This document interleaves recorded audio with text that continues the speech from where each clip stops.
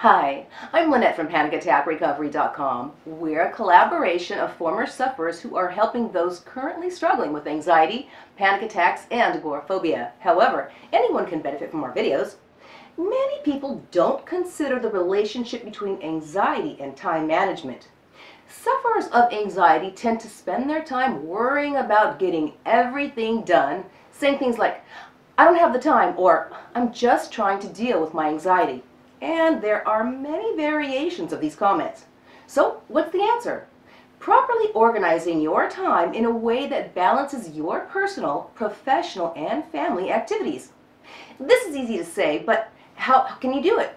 We've gleaned strategies from professionals which you can obtain in full detail from our website. However, here are some tips that you can get started with today.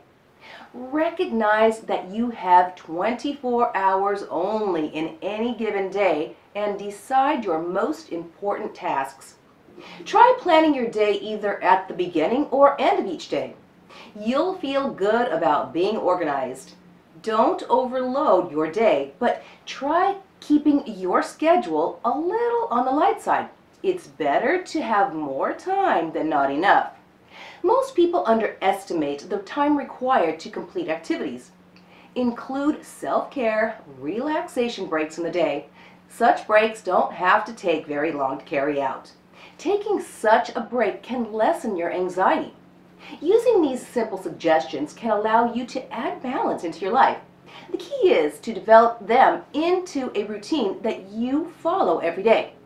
Despite being psychologically important, a routine can help with anxiety and improve your life in countless ways.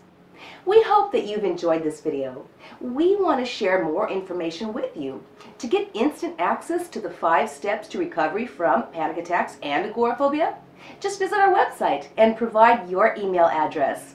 All of our information is absolutely free. Please visit our website at panicattackrecovery.com.